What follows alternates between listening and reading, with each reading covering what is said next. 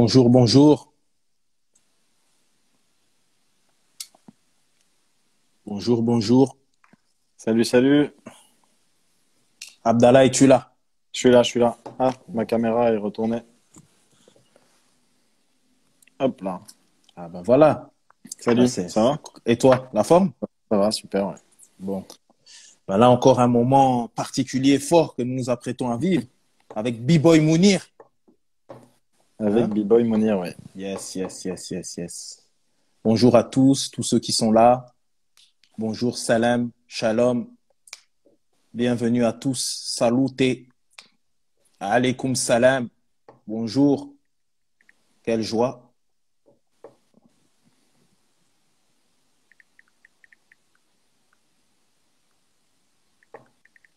Monir va se connecter dans un instant.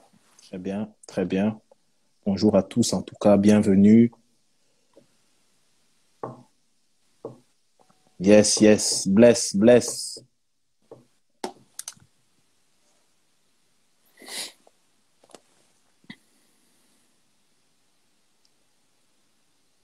Venez, venez. Nous nous mettons tout doucement en mouvement. On attend B-Boy Mounir. Mr. Keys, yo! Ah oui, je, vais, je tiens à, saluer euh, tout particulièrement euh, les danseurs avec qui j'ai la chance de travailler. euh, Salomon, Washko, Mr. Keys qui nous a salué là et le, et le génial Bolewa. C'est des danseurs avec qui j'ai la chance de travailler, qui sont des danseurs exceptionnels, mais aussi des êtres humains exceptionnels.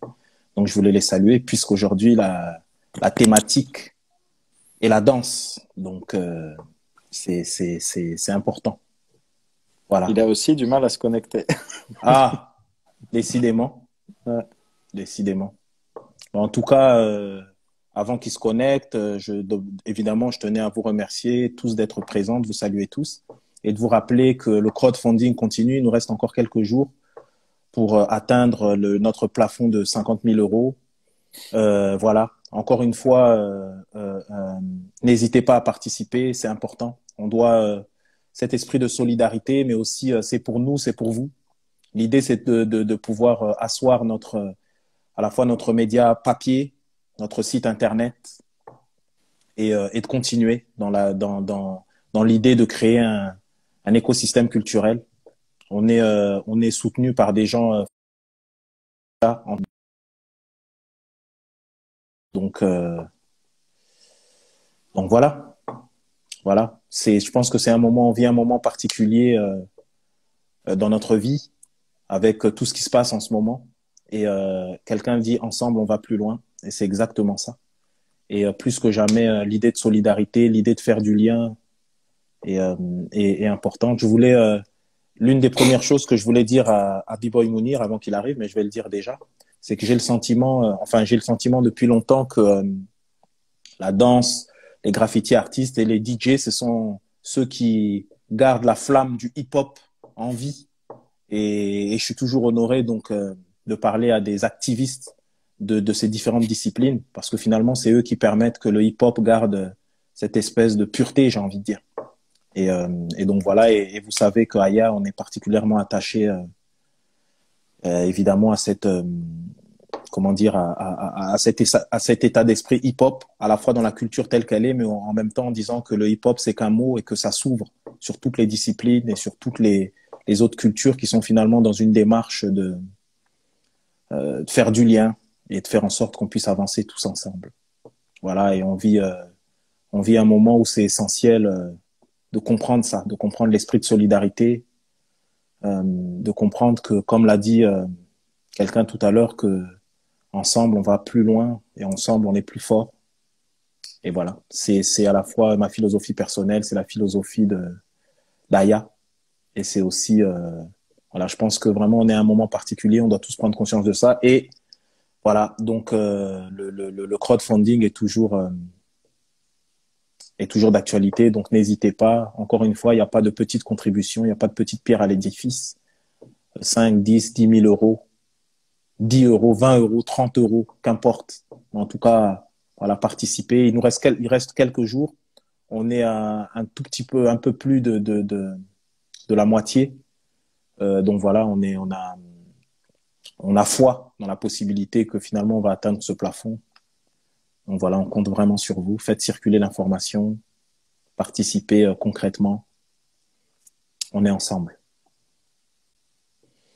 Alors j'essaye de, de, de, de, continuer. Euh, euh, voilà, on en rencontre, euh, j'ai l'impression, quelques petits problèmes techniques. C'est ça la technologie aussi, mais ça n'empêche. Vous êtes là, c'est merveilleux. On peut parler quand même et au moins échanger. N'hésitez pas aussi à poser des questions, même si euh, bon, ça passe comme ça, c'est un peu compliqué, mais on va essayer de les lire et aussi de, de, de, de prendre les questions que, que vous nous posez. Donc, euh, je rappelle, on, on attend B-Boy Mounir, qui est une figure importante euh, de, de, de, de, la, danse hip-hop, du breakdance. Et, euh, et voilà, et on va échanger avec lui autour de, sa discipline, mais aussi autour de sa vision, euh, de sa vision du monde, de sa vision de l'art comme moyen d'impacter voilà, le réel. Ah! Ah! Alors, c'est moi qui entends plus, c'est moi qui marche plus ou qu'est-ce qui se passe? Abdallah, tu m'entends? Ah, Ouais, je t'entends. Ouais. bon. Ok, bon, on y est. Voilà B-Boy Mounir Comment ça va, frère? Ça va, frérot Comment tu vas? Très bien, très bien. Quel- frérot Ça va Bon. Au top. Ça Bon, va bon, bon. Ben, Je suis content de vous rejoindre. euh, Ils n'ont pas voulu me laisser Ben, tu vois, et finalement, tu rentres. Comme quoi, non n'est jamais une réponse. On est tricard même sur Instagram, t'imagines? Ouais, c'est incroyable, incroyable. tu sais, tu sais, j'étais avec euh, un ami là, juste là avant de venir, et on parlait de toi. Et cet ami il m'a dit, dis-lui avant de, il me dit, dis-lui, est-ce qu'il se souvient de cet événement autour de la Zulu Nation où il y a eu une- un battle mémorable avec euh, euh, Kid Columbia? Il m'a dit, est-ce qu'il se souvient de ce moment qui était un moment d'anthologie? Ah la vache, qui c'est qui t'a raconté ça? Ah, t'as vu, moi aussi, j'ai, j'ai, je suis là. Hein on est là, frère. Hein Je on sais qu'il y a pas mal de monde qu'on qu'on- qu'on travaille avec toi sur euh, ton concert et tout, euh, dont euh, Exactement, euh, d'autres. exactement. Bien, qu'ils en particulier, hein, parce que ça a été mon, mon grand camarade depuis de longues années, tu vois. Waouh. sûr de, de vous rejoindre là sur, euh, sur le live. Non, ça, grave. ouais, vraiment, vraiment. Et puis, Bah, franchement, bienvenue, hein, Mounir. Ça, ça nous fait Ah, énormément plaisir de te recevoir. Ah, Une légende de la danse hip-hop, 12 Ouais. fois champion du monde. Waouh, waouh, c'est incroyable. Tu sais, tu sais, euh, je me posais la question. Je vais rentrer dans le vif du sujet, comme ça on va parler directement. Tu vois, je me posais la question. Je me disais que, tu sais, d'habitude, euh, comment dire, les, les, les, les sportifs, ils amènent leur, euh, comment dire, leur sport, ils le font avec une telle dextérité qu'ils l'amènent au, au niveau euh, artistique. Mais toi, qui es un artiste et, et un artiste qu'on connaît avec euh, euh, ta dextérité, ta beauté de ce que tu fais, mais toi, tu l'amènes au niveau d'une discipline sportive. Nous, on a fait le chemin inverse. Ouais, c'est ça. Et donc, c'est intéressant. Et moi, je voulais que tu, m'expliques et tu nous expliques un peu le, chemin, le cheminement de, de comment, comment euh, philosophiquement, qu'est-ce que ça signifie, pourquoi tu as voulu amener ça dans cette direction. Tu nous expliques un peu. Ouais, bah écoute, bon, d'abord, je suis pas euh, l'unique responsable Bien sûr, bien sûr. passe aujourd'hui, le fruit de euh, presque bientôt aujourd'hui 50 ans d'histoire. Euh, on fête en 2021 les 50 ans euh, de la culture hip-hop euh, née aux États-Unis, euh, 9 ans en France, donc on a vrai, une vraie histoire. On, on- on s'assoit sur un patrimoine qui est énorme. Et si tu veux, ça a commencé. bon, déjà, moi, j'ai grandi dans, dans, dans la philosophie du sport. Je, je suis issu du handball, basketball, football, très compétitif. J'étais le plus jeune, mes oncles, mes cousins plus grands que moi. J'étais obligé de, de suivre et ils, ils hésitaient pas à me jeter du terrain si j'avais pas le niveau. Et donc j'ai grandi un peu dans ça, tu vois. Et étant euh, j'ai été bercé à Rocky 3, l'œil du tigre. Donc euh, quand tu grandis avec ces Yes. réflexes, tu vois, t'as faim. Tu vois, ouais.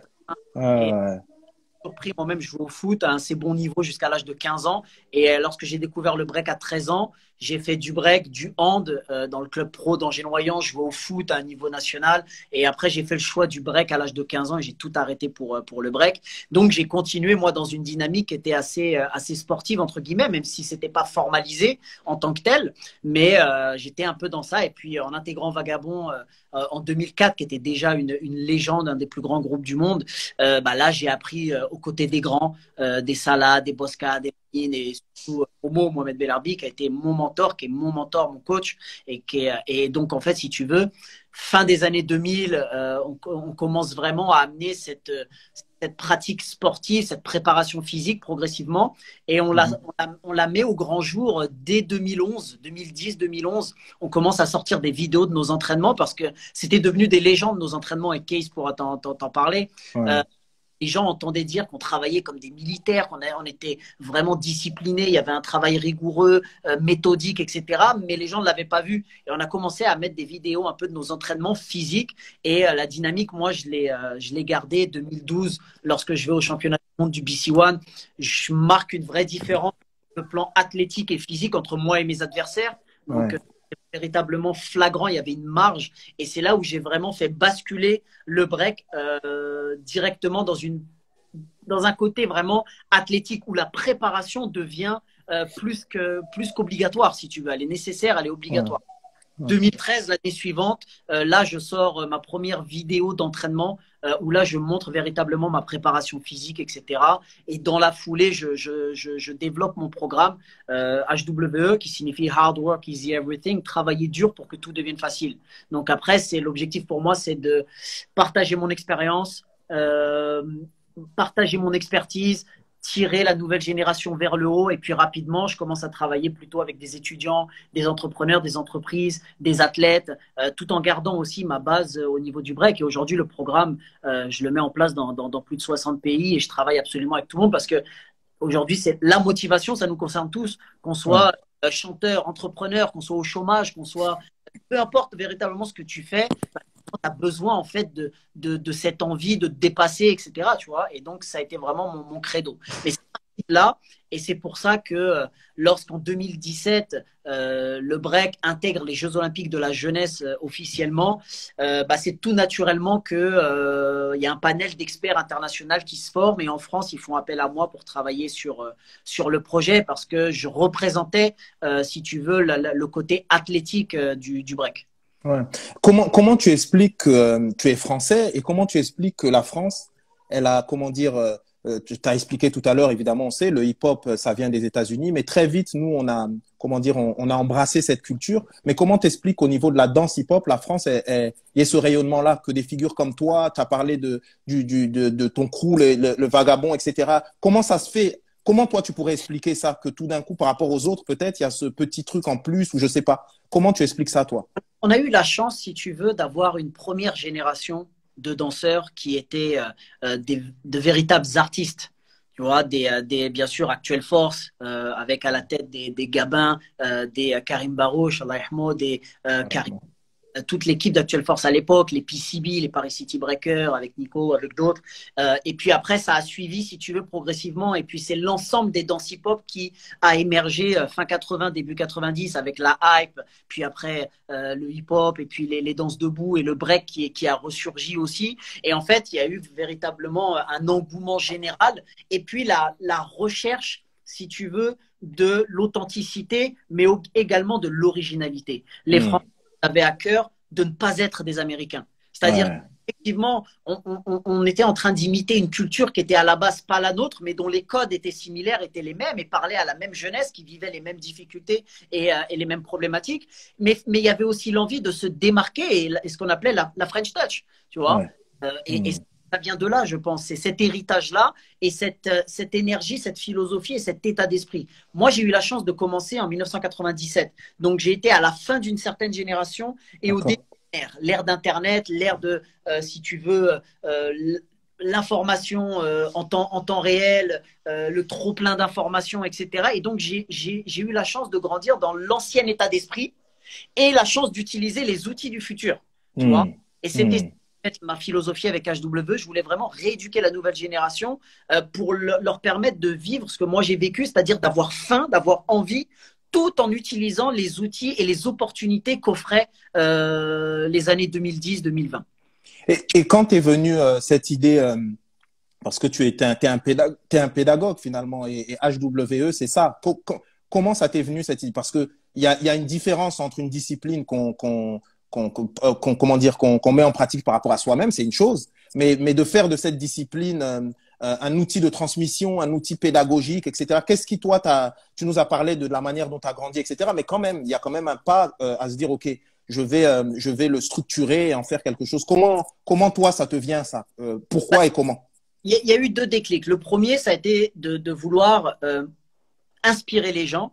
Et si tu veux, sur, sur le moment, j'avais pas forcément conscience que je pouvais le faire de moi-même. C'est-à-dire que lorsque j'ai fait ma vidéo en 2013, que j'ai, enfin, c'était la vidéo de ma préparation physique et technique à quelques jours euh, de la compétition que je l'ai sortie, tu vois, donc c'était une folie si tu veux à l'époque. Donc, euh, euh, lorsque je l'ai sortie, c'était, j'avais, j'avais fait toute une bande son sur Eric Thomas, sur une musique, ça durait 10 minutes. Et en fait, si tu veux, je me suis dit, je vais continuer je vais faire d'autres vidéos de mes entraînements et je vais utiliser des, des speeches de Jordan, des, euh, tu vois, des morceaux de films, des trucs inspirants. Et puis, euh, euh Lamine, qui est un des toutes premières générations de vagabonds, quand je lui parle de, de mes idées, parce que voilà, c'est mes grands, c'est des visionnaires, j'ai besoin de leur avis, il me dit, mais, mais pourquoi tu le fais pas toi-même?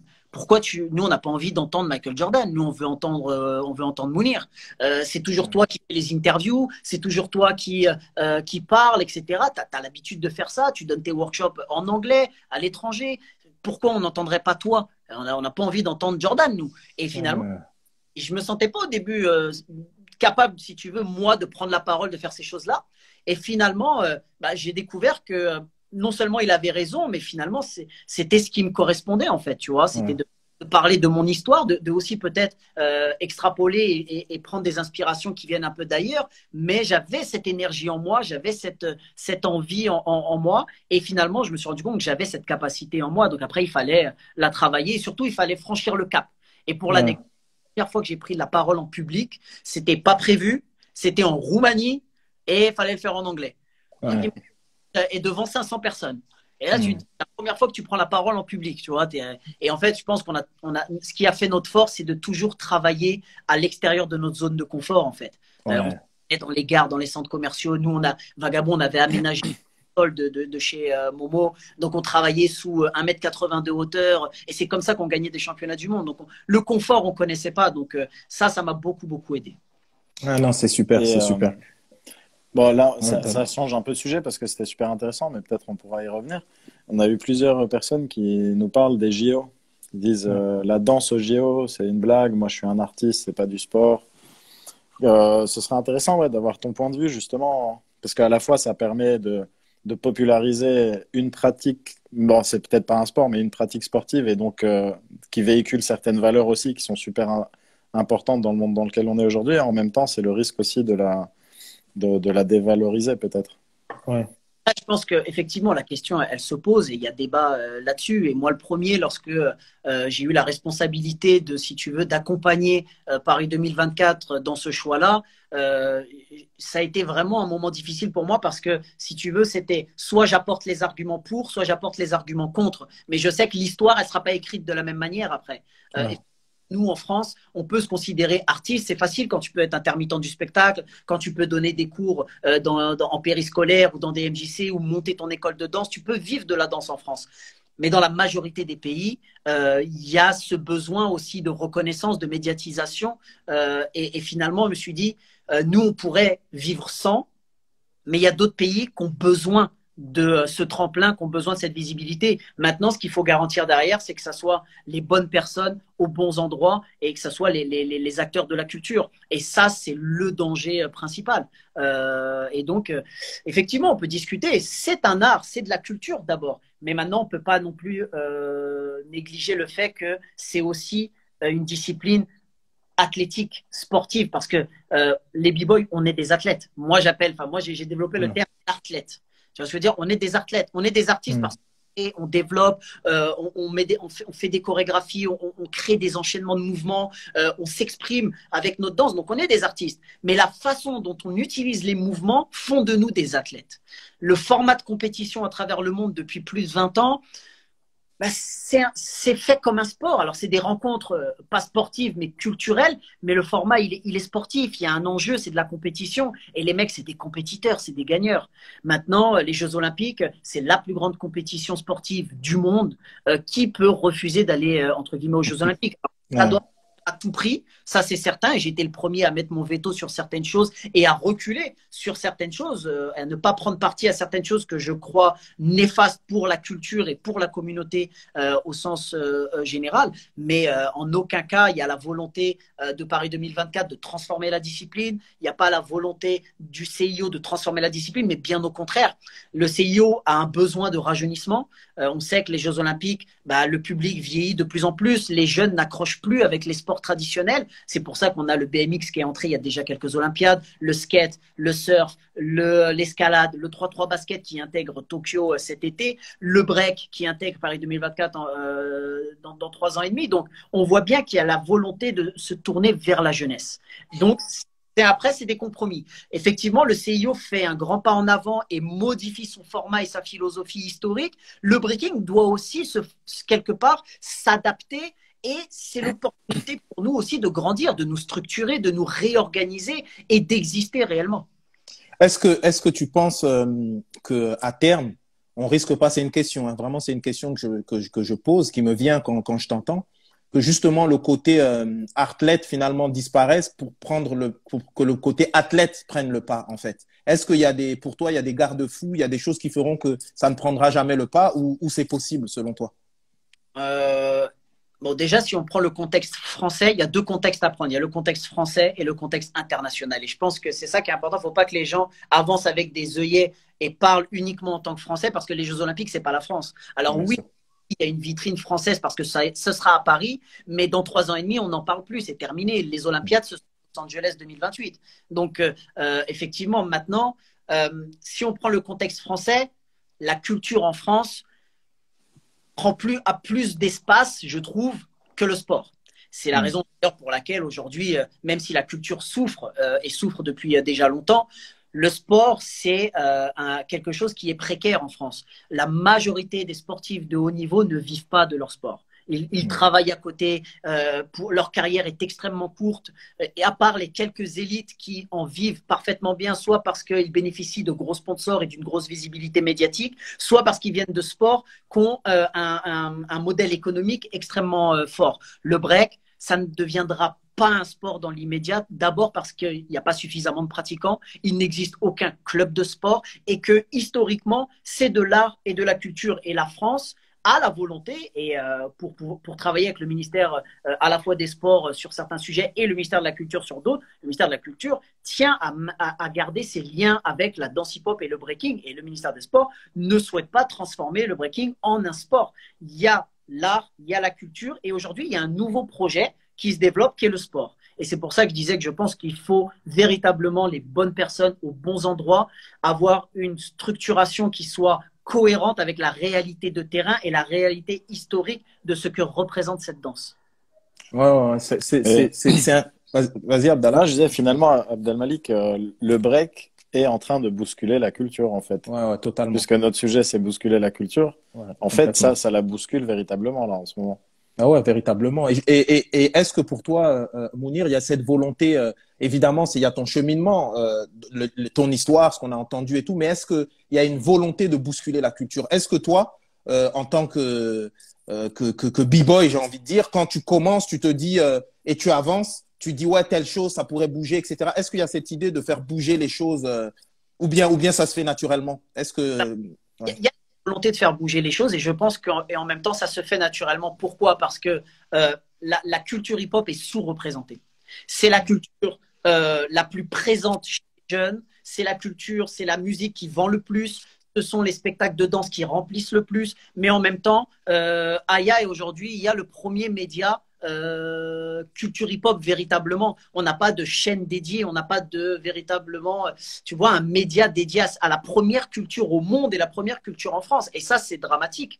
Et la danse euh, qui a une place extrêmement importante en France est sous-représentée les danses hip-hop. On a été, euh, et après, c'est le cheminement, l'histoire qui veut ça. On a été pendant très longtemps accompagné par la danse contemporaine, etc.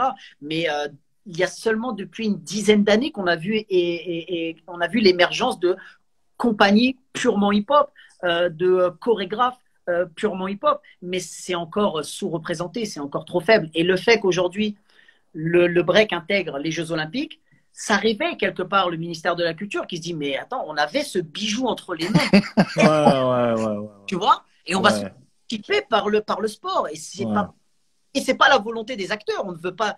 Moi-même, même si on m'a toujours posé cette étiquette athlète, et ça me dérangeait pas, parce que ça a été pour moi sur le plan éducatif la possibilité aussi de pouvoir véhiculer d'autres valeurs auprès de la jeunesse. Je considère que la culture, c'est la liberté, la liberté de s'exprimer.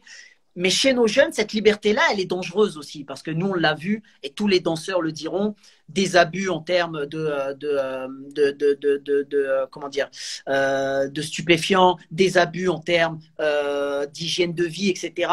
Euh, et donc, il y a des carrières qui sont brisées, des gens qui socialement s'enfoncent, et le sport, apporte une discipline, apporte d'autres valeurs, parce qu'il y a la recherche de la performance, etc. Il y a une certaine méthodologie à mettre en place, et il y a un accompagnement. Et c'est ça, moi, que je voulais véhiculer, c'est-à-dire, tout en restant un artiste, un athlète, d'utiliser les codes du sport pour pouvoir créer quelque chose, s'épanouir et, et, se développer en tant que personne, tout en un artiste dans sa culture. Il s'agit devenir un sport. Il s'agit d'utiliser les codes du sport euh, pour pouvoir euh, grandir en tant qu'athlète. Celui qui se considère uniquement comme un athlète n'ira qu'à 50% de son potentiel. Parce que tout l'aspect technique, athlétique, il va le délaisser. Or, tu ne peux pas les séparer. Celui qui va se considérer uniquement comme un athlète et délaisser la, toute, toute la partie euh, créativité qui fait de lui l'artiste, il n'atteindra que 50% de son potentiel maximum. Les deux ne sont pas discutables pour moi, à mon sens. D'ailleurs, même dans le sport aussi, hein, tu parlais de Jordan, mais euh, Federer, Zidane. Euh, tous les grands athlètes sont aussi des grands artistes en réalité. C'est comment, c'est l'utilisation du, du, du, mouvement, du, c'est le geste qui fait de toi l'artiste, tu vois. Ouais, mais sauf que, sauf que quand même sur la danse hip-hop, on part d'abord de quelque chose qui est purement artistique. Après, il y a des gens comme toi qui l'amènent encore à un autre niveau, qui tient compte en même temps de l'art, mais en même temps de, de, de performance athlétique. Et, et, et, ça, c'est particulier parce que les, si tu parles de Jordan, etc., ou, ou Zidane, etc., comment c'est le sport en fait. C'est le sport et il amène, si tu veux, à un tel niveau ensuite, etc. Donc c'est comme on disait au départ, c'est un peu dans le sens inverse entre guillemets, même si euh, euh, pour des gens comme toi d'entrée, c'est vrai que l'aspect athlétique était déjà là, mais quand même, il y a le fait de. Il y a quelqu'un qui disait quelque chose d'intéressant tout à l'heure, qui posait la question. Il disait est-ce qu'on ne pense pas que, si je me souviens de sa question, est-ce que finalement euh, le fait que les grands artistes, quand ils atteignent un certain niveau en danse, euh, euh, euh ils partent à l'étranger, ça empêche de structurer en France, etc. Est-ce qu'il y a un problème de structure en France par rapport euh, précisément à la danse hip-hop? Attends, j'ai pas entendu ça couper. Excuse-moi, redis s'il te plaît. Est-ce qu'il y a un problème de structure par rapport à la danse hip-hop? Est-ce que les danseurs en France se structurent suffisamment pour ne pas partir à l'étranger et pouvoir rayonner véritablement de la France? C'est une question que quelqu'un a posée et que je, je pense que c'est pertinent. Non, non, non, justement, c'est le, le, problème, il est là. Enfin, moi, j'ai cofondé euh, l'Organisation nationale du hip-hop en 2016, euh, qui avait justement pour objectif de professionnaliser les artistes hip-hop, de pouvoir former les futurs intervenants, les futurs profs. Euh, moi, j'ai commencé à donner des cours à l'âge de 15 ans. Alors, t'imagines qu'il n'y a vraiment aucune structuration. Euh, ah. depuis deux ans. Donc, ça montre bien. Aujourd'hui, n'importe qui peut donner des cours de danse. Et ce qui n'existait pas à l'époque et qui aujourd'hui représente 90% du public sont les enfants. Moi, à mon époque, les cours de danse, on n'acceptait pas d'enfants en dessous 11-12 ans. On considérait que c'était, d'abord, on avait très peu de demandes, et deuxièmement, on considérait que c'était trop jeune, il y avait, c'était dangereux. Hmm. Aujourd'hui, de 5-6 ans et la majorité d'entre eux n'ont pas plus de 10-12 ans, tu vois. Et si tu n'as pas des pédagogues qui sont formés en face, il y a un risque de santé publique. Et c'est le cas, c'est le cas aujourd'hui? Bien sûr, c'est le cas parce que on est sur. Alors, c'est ce qui fait la force et sur le long terme, ce qui, est, ce qui fait la faiblesse de la culture hip-hop et de la danse hip-hop en particulier. C'est que c'est une danse qui est exclue quasiment à 100% autodidacte. D'accord? Mmh. Il y a des mais ce sont des initiatives individuelles, privées. Les compétitions sont des initiatives euh, euh, privées ou bien euh, des commandes de tu veux, c'est des collectivités territoriales, donc c'est des associations qui montent leurs projets individuels. C'est pas dans une démarche collective avec un, but bien précis. C'est vraiment chaque secteur développe ses activités, vont monter leurs écoles de danse, ils vont faire leurs compétitions, et puis finalement il y a un schéma qui se dessine, mais ils sont pas reliés les uns les autres en vérité. Mmh, mmh. Euh, chez soi, fait son truc. Et comme on est nombreux, ça crée beaucoup de choses. En France, on est le pays où il y a le plus de compétition au monde. Hein. Le plus. Mmh. Loin, loin devant tous les autres pays. Hein. Est-ce que tu penses que les JO, ça va aider à structurer précisément ou, pas? Alors, ça doit permettre euh, d'accélérer le processus et d'envisager une véritable structuration. Malheureusement, euh, ça aussi, ça peut avoir d'autres conséquences et ça a aujourd'hui d'autres conséquences. C'est euh, après la responsabilité des danseurs de savoir où est-ce qu'ils se positionnent. Est-ce qu'ils ont une vision sur le long terme et ils vont enfin structurer de façon indépendante leur danse pour pouvoir véritablement s'épanouir et euh, entre leurs mains le destin de leur discipline, ou bien ils vont intégrer euh, des organisations qui euh, sont très éloignées de leur code, mais qui disposent de cette structuration. Et à ce moment-là, c'est une vision à court terme. Et, moi, je, je, suis sur une vision à, long terme, parce que le, le si tu, ce qui est bien pour toi maintenant, c'est peut-être ce qui va te perdre sur le long terme. Tu vois hmm. Hmm. Euh, Mais tu disais quelque chose qui était super intéressant. Ce qui fait la force de la culture hip-hop et euh, éventuellement sa faiblesse, c'est justement ce manque de, structure aussi. Et le fait d'être capable de s'hybrider, de se mélanger, d'être autodidacte et, et, de se développer par soi-même, en fait. Sans que ça vienne par le haut, mais que ça se diffuse comme ça, en fait.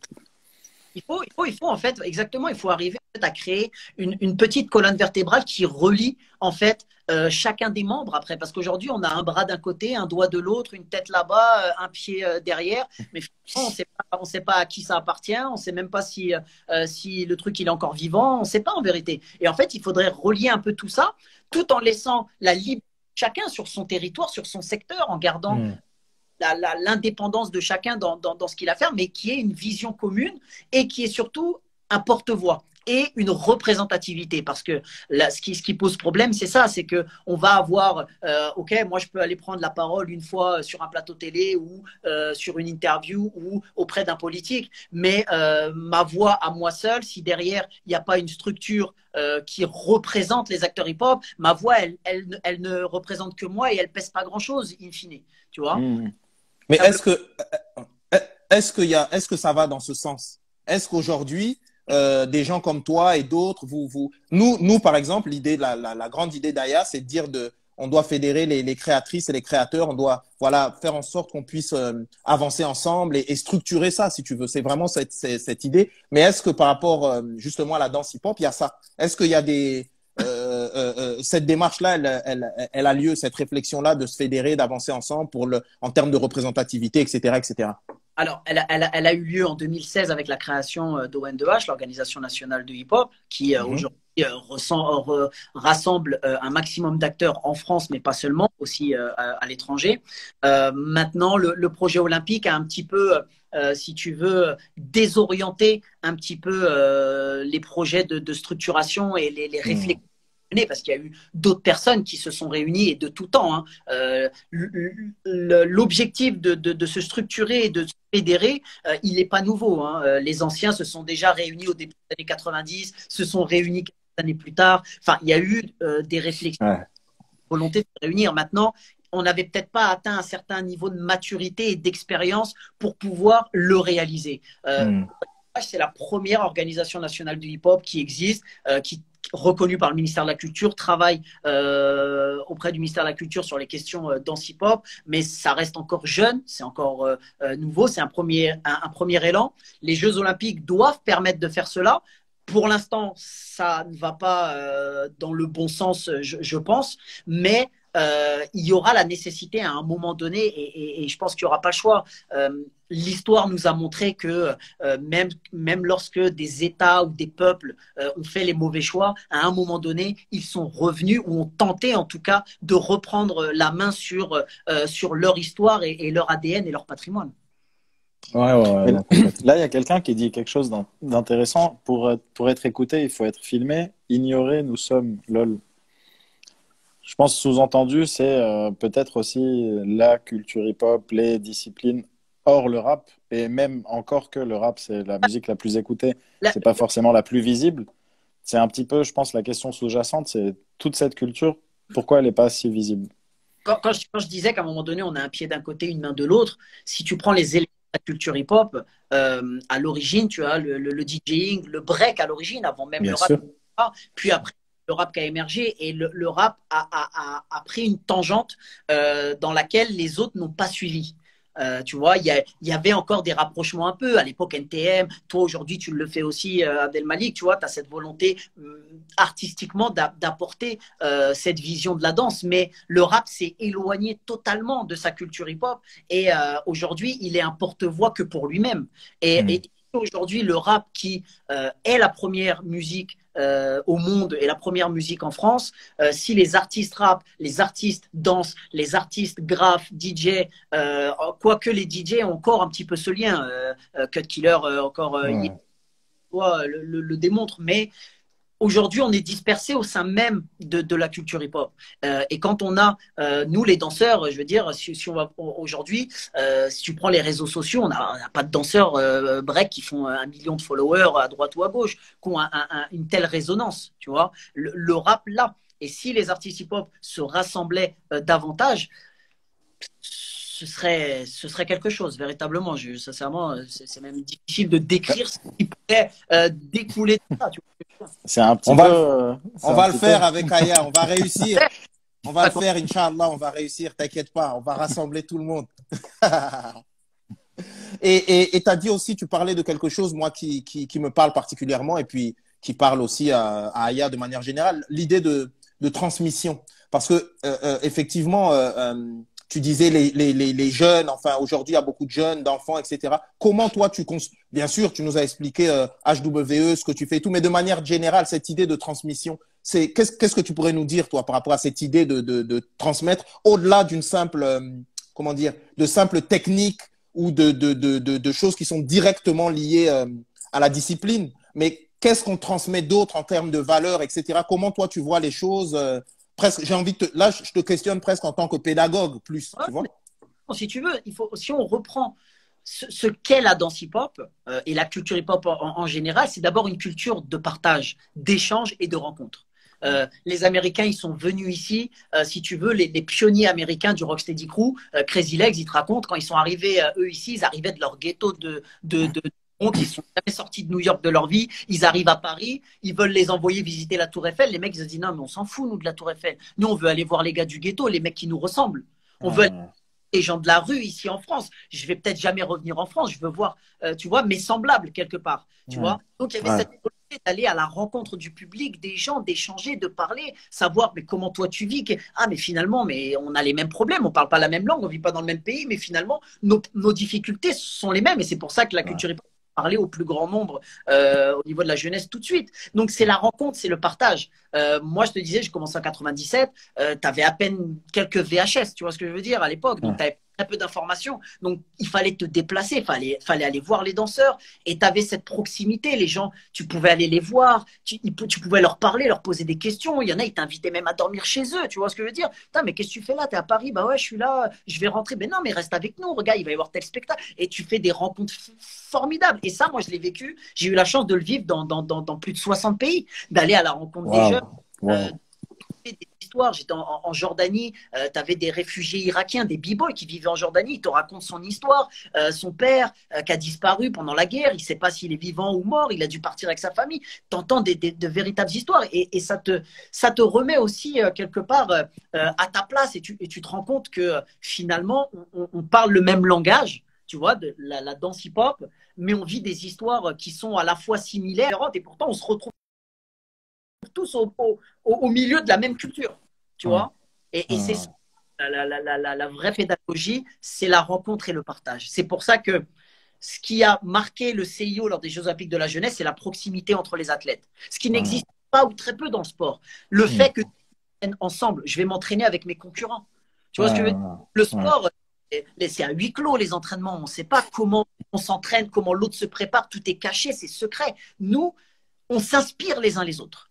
Tu vois? Ouais, Et ouais. c'est la force et qui nous permet de toujours euh, voir vers l'avant. Euh, on n'a pas de rétroviseur, nous, en danse hip-hop. C'est-à-dire qu'on va toujours de l'avant dans l'innovation, euh, on recherche toujours la performance. Et ça, c'est les rencontres qui nous permettent véritablement de, faire ça. C'est pour ça que depuis un an et la situation sanitaire qu'on vit, c'est dur pour, pour les artistes, tu vois. Oui, et justement, par rapport à la situation sanitaire, comment toi, à titre personnel, tu le vis? Comment, à la fois, comment tu le vis à titre personnel de manière générale?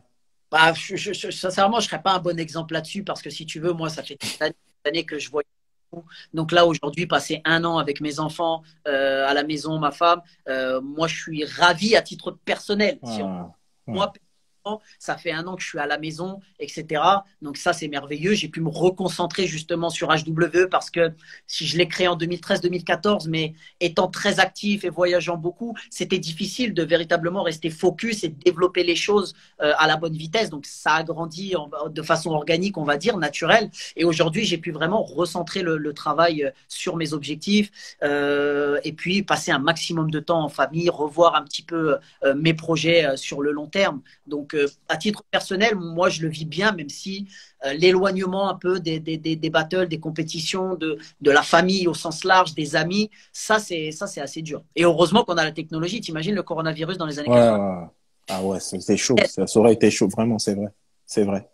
Non, mais c'est magnifique. Vraiment, je suis, euh, je suis admiratif. Je le disais avant, avant que tu viennes, euh, avant quand on était en train de parler juste avec Abdallah, je disais que de mon point de vue, euh, et, et, tu l'as souligné aussi que c'est vrai que le, le, le, le, le graphe, euh, le DJing, la danse, pour moi, ça reste, euh, comment dire, c'est c'est là où la, la, flamme reste quoi. C'est là où vraiment il y a cette idée quand même au niveau philosophique où on se retrouve par rapport à la passion qui nous a porté tous au début pourquoi on a voulu rentrer dans ce mouvement pourquoi ce mouvement nous a nous a nous a parlé. Et je trouve que quand je t'entends parler c'est c'est magnifique parce que c'est toute cette idée de dire que le hip hop c'est aussi quelque chose qui structure un être qui permet tout d'un coup de faire en sorte qu'on puisse grandir et s'épanouir en tant qu'être humain euh, euh, euh, à la fois, j'ai envie de dire physiquement, spirituellement. Et ça, c'est assez impressionnant. Donc, je voulais, je voulais te féliciter, te saluer pour ça parce que c'est hyper important. On a besoin de référents et de modèles.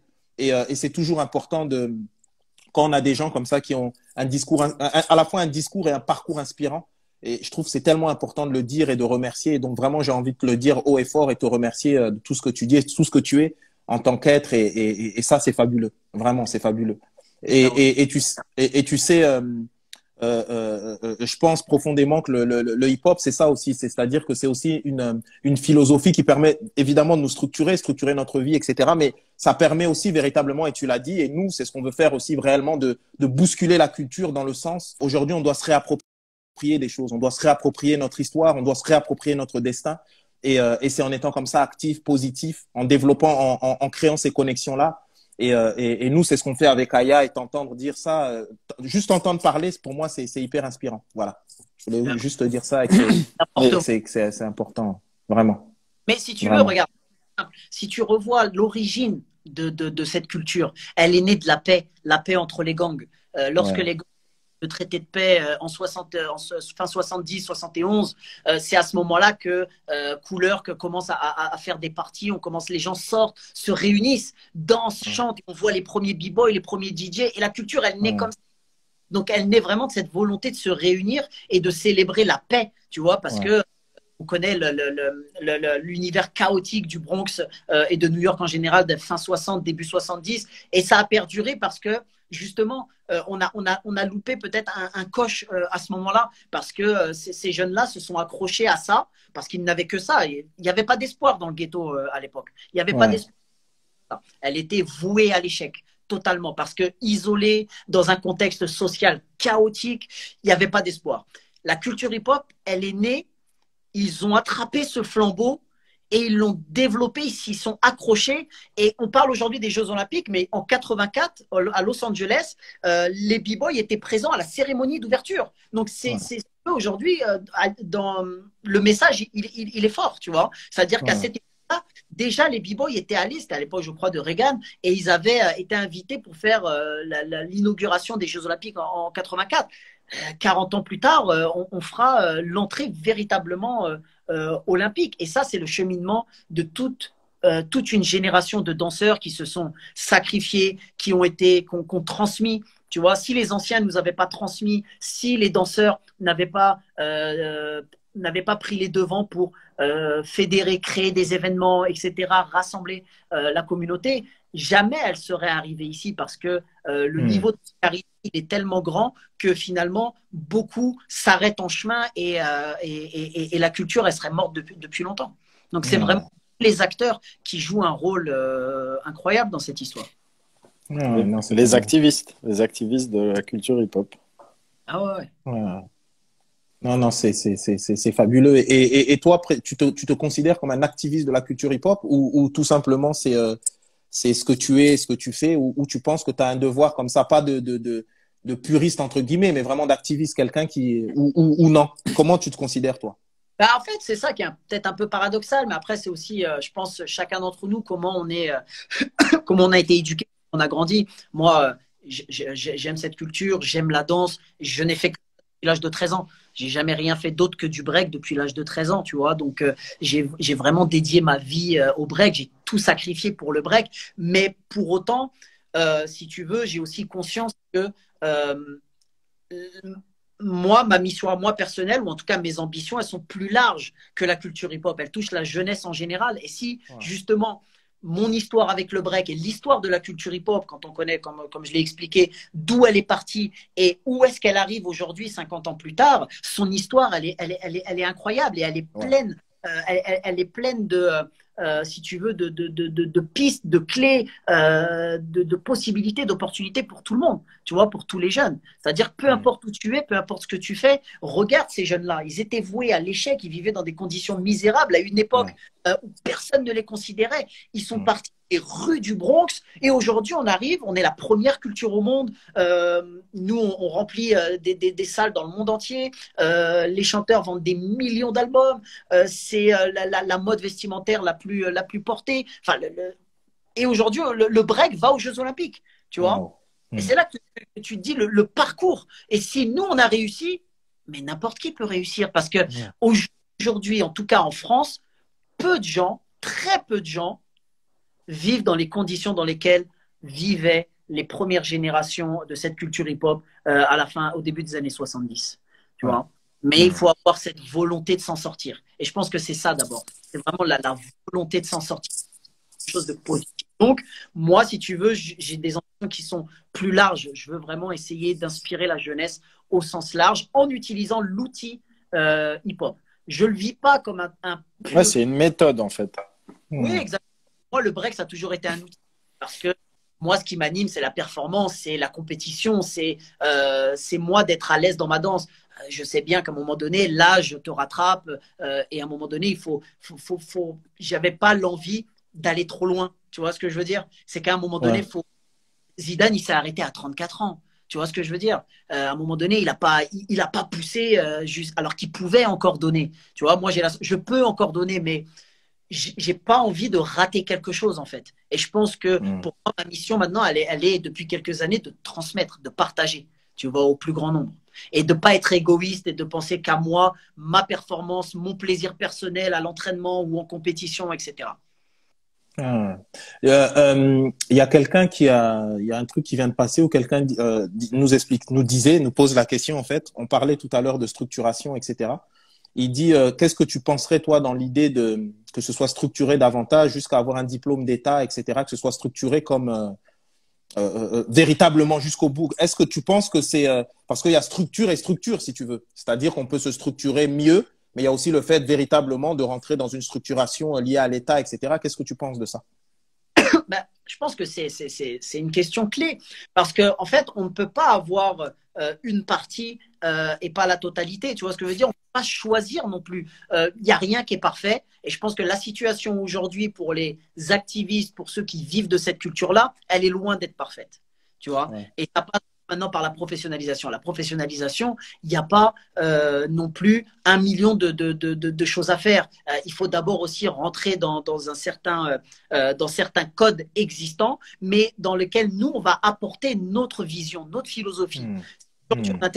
C'est pour les rafraîchir. Ce que moi, je n'adhère pas avec les Jeux Olympiques, c'est que sous prétexte de rajeunir les Jeux Olympiques, nous, on doit retourner à un fonctionnement passé qui ne nous correspond pas. Nous, on doit vieillir pour faire rajeunir une institution. Or, hmm. on a y gagner. D'un côté comme de l'autre, nous, on va pouvoir apprendre, on va pouvoir se professionnaliser, se structurer, on va pouvoir euh, rencontrer aussi notre nouvelle famille sportive qui a beaucoup de choses à nous apprendre. Mais nous aussi, apporter des choses parce qu'on on est visionnaire, on, on, est créatif. Et c'est ça aussi. Et je pense que la relation avec l'État, euh, elle doit aussi se trouver à ce niveau-là. l'État fait déjà des choses euh, sur le plan de l'emploi, sur le plan de la formation, euh, de la certification. Nous, on a aussi notre vision, parce que les gens ne veulent pas, ne veulent pas le faire avec l'État, mais le font à titre individuel. Il y a des gens des certifications, donnent des diplômes certifiants, pas des diplômes diplômants, mais certifiants. Donc, finalement, tu dis, mais c'est bizarre comme, euh, comme discours parce que vous ne voulez pas quelque chose que vous faites déjà, finalement. Tu vois? Et, ça, passe, ça passe euh, obligatoirement par là. Et c'est tout le sens du travail aussi euh, d'ON2H. C'est que ça soit fait par les acteurs hip-hop, pour les acteurs hip-hop. C'est hmm. ça. effectivement, on vit dans un pays euh, étatique qui a un fonctionnement qu'il faut impérativement respecter. Et au-delà de respecter, il faut l'embrasser. Parce que c'est de cette manière-là qu'on va pouvoir s'émanciper et exister. Tu vois? Et hmm. Hmm, ah, alors après, il y a toujours des risques. Maintenant, euh, quel est le plus gros risque? Rester à la marge, si tu veux, en marge de la société, ou euh, se fédérer, se structurer avec les bonnes personnes euh, et avancer dans le bon sens. Il y a des risques dans les deux. Je trouve que c'est plus risqué de l'autre côté. Et l'histoire nous montre quand même que beaucoup de gens aujourd'hui ne s'en sont pas sortis en danse, ne s'en sont pas sortis dans le graphe, n'ont pas réussi à vivre de, leur passion, tu vois, à vivre de leur... Et c'est ça qui est dramatique en fait. C'est de devoir mmh. abandonner art et euh, de, le garder dans ton cœur, dans un coin de ta chambre, et puis d'aller travailler à la poste ou euh, chez Amazon aujourd'hui, parce que malheureusement, tu ne peux pas vivre de ton art. Mais pourquoi? Art, il n'est pas il va pas dans le bon sens. Et je, trouve mmh. que ça, c'est ce qu'il y a de plus dramatique. Et, euh, et pour toi, en parlant de ça en particulier, c'est de ton point de vue, bon, ça pourrait, on pourrait parler des heures sur ce sujet, mais c'est quoi la clé justement pour, euh, pour, pas, pour vivre de sa passion, quoi?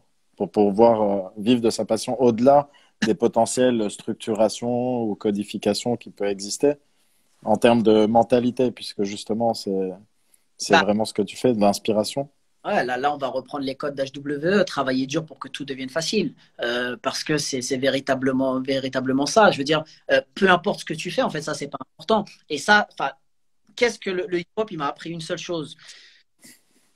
Si tu veux, d'où tu viens, c'est pas important.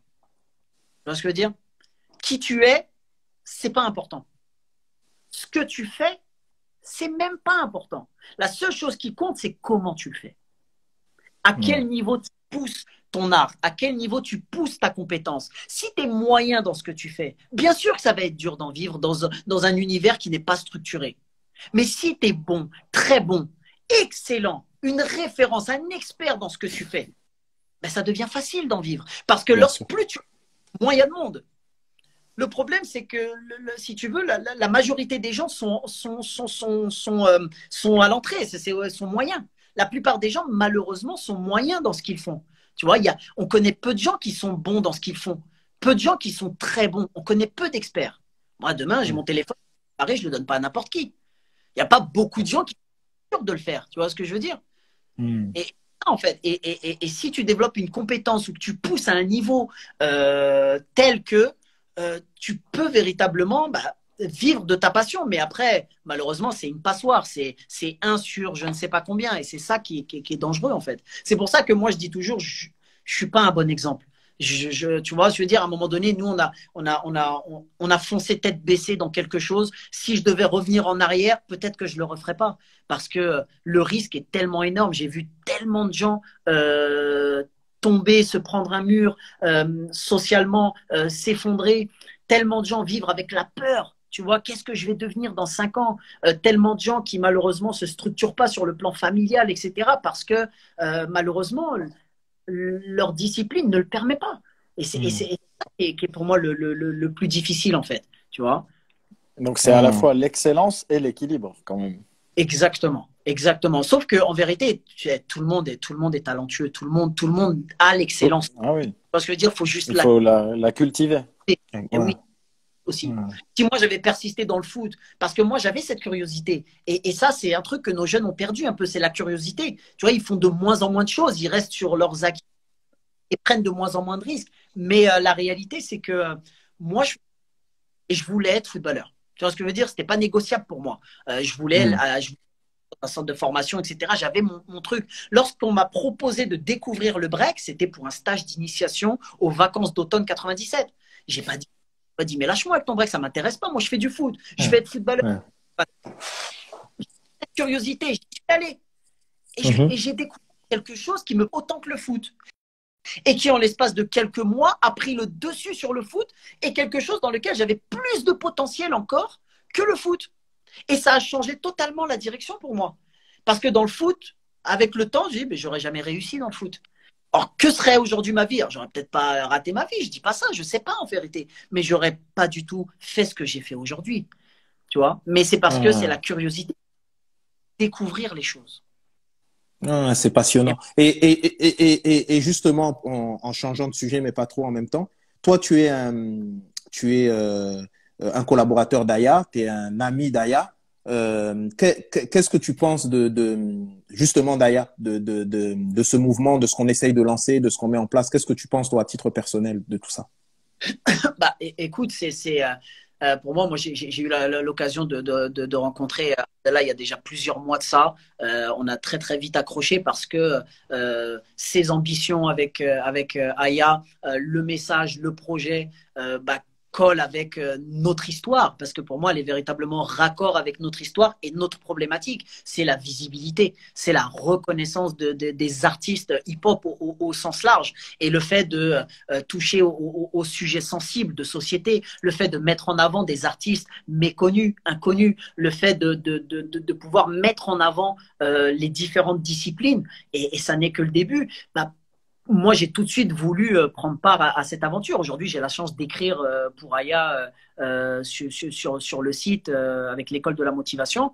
Et mon but, il est de pouvoir apporter ma petite pierre à moi avec ma vision, mes messages que j'essaie de transmettre pour essayer de d'inspirer la jeunesse et de se dire, mais attends, quand tu arrives aujourd'hui sur, la, sur le site d'Aya, tu vois un tas de choses. Tu vois un tas de gens que tu ne vois pas en mainstream. Tu vois ce que je veux dire? Tu dis, mais ces gens-là, ils font des tu vois Et c'est mm. ça qui est formidable. Et là, ça redonne aussi confiance parce que des fois, on se dit, mais il y a beaucoup de gens qui, euh, si tu veux, estiment qu'ils n'ont pas la capacité d'atteindre un tel niveau. Quand ils voient les rappeurs, ils disent mais moi je ferai jamais ça. Quand ils voient les danseurs, ils disent mais moi je ferai jamais ça. Tu vois ce que je veux dire? Et donc ça ne les pousse pas à continuer ou, ou, à pousser dans leur discipline. Mais là, tu vois des gens que tu ne connais pas, quasi lambda, et tu les vois réaliser des choses incroyables. Et tu dis mais c'est mm. possible. Et c'est ce message de, confiance qu'il faut redonner un peu à notre jeunesse. Et surtout, c'est ce message positif, parce que la culture hip-hop, c'est d'abord du positif. C'est né de la volonté des euh, de, de, de, faire la paix et de sortir de cette euh, euh, c'est né de, la volonté de ces artistes de s'en sortir. Tu vois et, et pour moi, c'est ça le, le, plus important. La culture hip-hop, c'est peace, love, unity, having fun je veux dire. Et having fun. Having fun, un élément essentiel. C'est vrai. Après, je pense que ça peut-être été aussi un des problèmes à l'époque, c'est que c'était trop having fun. Euh, trop having fun. exactement, exactement, exactement. Avec le on est retombé dans la réalité en fait de la situation sociale. Elle a, elle a, elle a ressurgi. Et c'est ça qu'il faut Ouais. La, la, la, personne dont je te parlais tout à l'heure au début, quand on parlait de, quand je t'ai parlé de, de Kid Columbia, etc. La personne, c'est King Jaid, le bon King Jaid. Ouais, ouais. Ah, euh, et, et, et, justement, euh, puisque tu parlais de rapport à, à, à, à l'histoire euh, et le hip-hop, etc. Est-ce que c'est quoi ton rapport à, à la Zulu Nation précisément? Est-ce qu'il y a un rapport à la Zulu Nation ou pas? Est-ce que c'est quoi cette voilà Parce que pour moi, c'est consubstantiel. Ça va ensemble de toute façon à, à un moment donné, mais il y a des gens, comme on parle de King Jaid, qui sont plus proches encore de vraiment la philosophie de la Zulu Nation précisément. Toi, est-ce qu'il y a un rapport à titre personnel ou, alors, c'est quoi le, Si tu veux, je, je, pense que euh, ça fait partie des éléments que j'ai cités tout à l'heure qui se sont un peu euh, éloignés du centre en fait.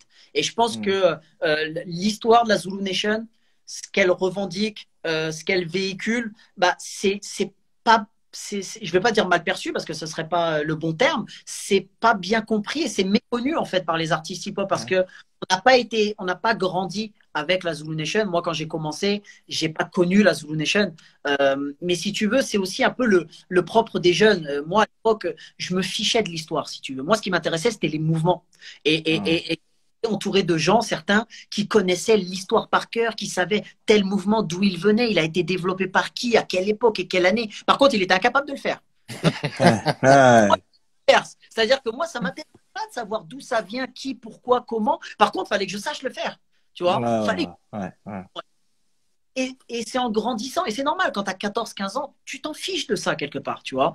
Par contre, quand tu grandis, que tu rencontres les gens, tu te poses des questions, tu vois, et tu commences à réfléchir sur euh, l'histoire de ta culture, l'histoire de ta danse. Tu rencontres les, tu commences à rencontrer les anciens, des gens que tu as vus, euh, que tu commences à côtoyer. Tu les voyais en cassette vidéo à l'époque et ils te parlent un peu de leur philosophie, de leur histoire. Et là, tu commences à en apprendre un peu plus. Et je pense que euh, la Zulu Nation, sincèrement, je, je, serais très mal placé pour en parler parce que malheureusement, je ne connais pas assez. J'ai la chance d'être de, très ami avec Jaïd et donc c'est à travers que j'en apprends davantage. mais c'est un personnage incroyable, toujours le sourire aux lèvres. il est excellent avec une histoire incroyable, tu vois, et lui, il est vraiment euh, à, la, à, la, base en France de, de, de tout ça, tu vois. Et ce qui, ce, qui, ce, qui est, ce qui est marrant, en fait, c'est que c'est pas quelqu'un qui revendique quelque chose, tu vois. C'est pas quelqu'un qui cherche à se mettre en avant, qui cherche à retrouver une lumière à travers la culture hip-hop. C'est des gens qui, euh, vivent leur, passion naturellement et qui sont toujours dans l'échange, le partage. Et c'est ça que j'apprécie en tout cas chez lui euh, en particulier. Mais je ne serais pas bien placé pour parler de la Zulu Nation parce que je pense qu'il y a ce problème-là, on n'a pas bien connu en France. Et pourtant, ça fait 25 ans que je suis euh, dedans presque. Euh, j'ai pas bien connu la, la, Zulu Nation malheureusement. Ouais, en tout cas, on salue euh, King Jaïd et un grand respect à tous les, les, les activistes de la Zulu Nation. Et, et ça, c'est hyper important. Euh, de, de Muay Thai. Euh, donc, ça a été un énorme champion à son époque. Hein, euh. C'est une grande figure, Jaïd. Jaïd, c'est une grande figure à la fois dans le hip-hop et dans le sport. Et, c'est intéressant parce que finalement, ça, ça, te rejoint aussi, ce croisement entre le sport et, et, l'art, entre le hip-hop et, le, et le sport, etc. Donc, il y a quand même cette, y a quand même cette idée qui est à la fois finalement dans le hip-hop et dans le sport, qui est cette idée de, de, de compétition, tu vois, d'être compétitif et, et, et, et, donc voilà, donc c'est vraiment ça, ça se rejoint. Donc il d'un grand champion euh, et, un, et un bel être humain, vraiment, vraiment. Et qui a événement qui a, il est, je, je, devais y aller malheureusement, mais avec euh, les, la situation sanitaire, ça a été annulé. Il met en place un événement contre le cancer du sein. Euh, exactement.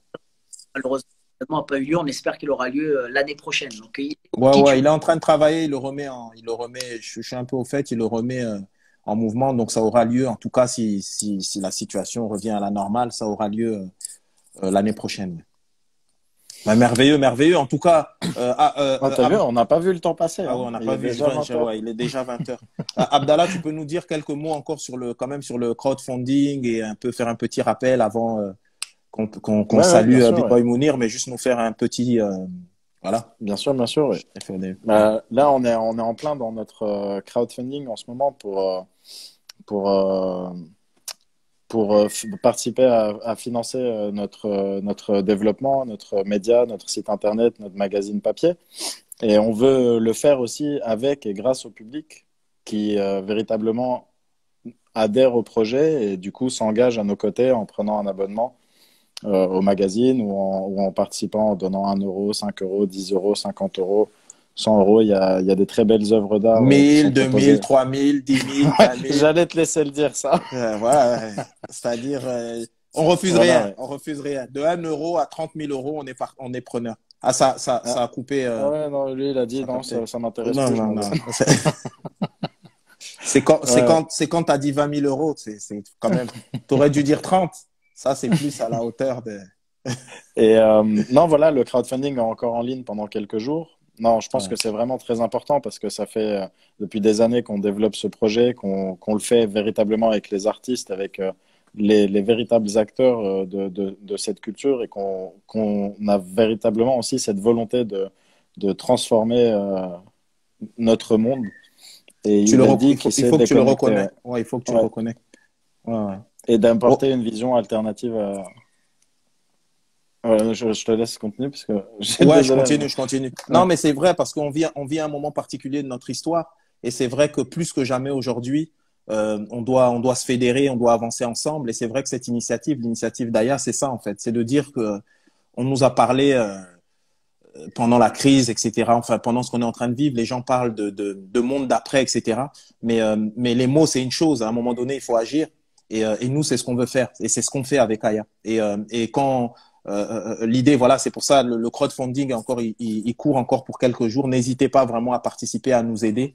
Euh, on a besoin de force et, et, et encore une fois, comprenez, c'est ça va dans les deux sens en fait. C'est parce qu'on est dans un moment particulier de notre histoire et, et, que c'est hyper important qu'on le comprenne et qu'on a besoin les uns des autres pour pouvoir vraiment changer les choses, vraiment euh, qu'advienne le monde qu'on appelle de nos voeux, quoi. Et, euh, et donc voilà. Et, et on, encore une fois, on est soutenu par des gens merveilleux. On a eu une merveilleuse discussion là avec B-Boy Mounir, vraiment que je que je remercie parce que voilà, on a besoin de de référents, d'artistes qui, euh, enfin, en tout cas, de gens qui, euh, au-delà des mots, euh, sont, sont exemplaires dans, dans, dans, leur attitude, en tout cas exemplarisent la philosophie qu'ils mettent en place, et ben ils le montrent au quotidien dans leur vie, dans leur rapport à leur discipline, dans leur rapport à leur art.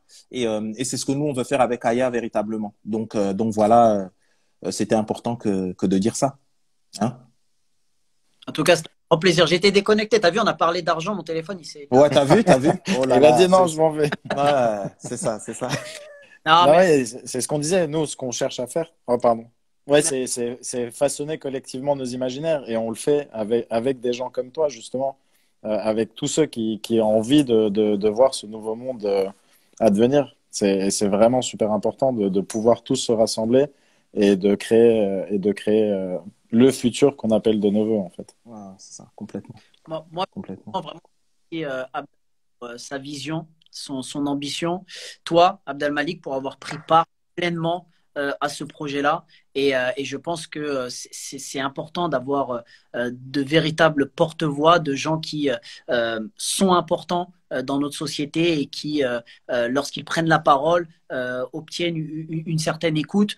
Et, je pense que les valeurs du hip-hop, elles, sont ici. Et il faut impérativement accentuer là-dessus et, réunir un maximum de, gens sur ces sujets-là. Euh, en tout cas, félicitations à vous. Moi, je suis heureux de faire partie euh, de cette famille. Euh, on est honoré. Nous, on est honoré également. Vraiment. Ah, vraiment. Et pour moi, vraiment. Et, voilà, et, que chacun puisse donner un peu de force, partager un maximum de, de, de, choses positives pour, pour pouvoir avancer collectivement vers quelque chose qui a du sens. Hmm. merveilleux. Que dire de plus? Que dire de plus Je pense que c'était hein? le mot de la fin. C'était le mot, c'est le mot de la fin, vraiment. Merci beaucoup, merci beaucoup euh, Mounir, vraiment, et, et que, le, que le meilleur pour toi, pour tous tes projets, et, euh, et voilà quoi, vraiment que le meilleur. Merci frérot. Bon. bon. Oh, on va remettre ça de toute façon très bientôt. ben oui, on va remettre ça. On va, ouais, on va remettre ça. À bientôt. À bientôt, les Portez-vous bien. Allez. Bye bye. Ciao. Bye bye.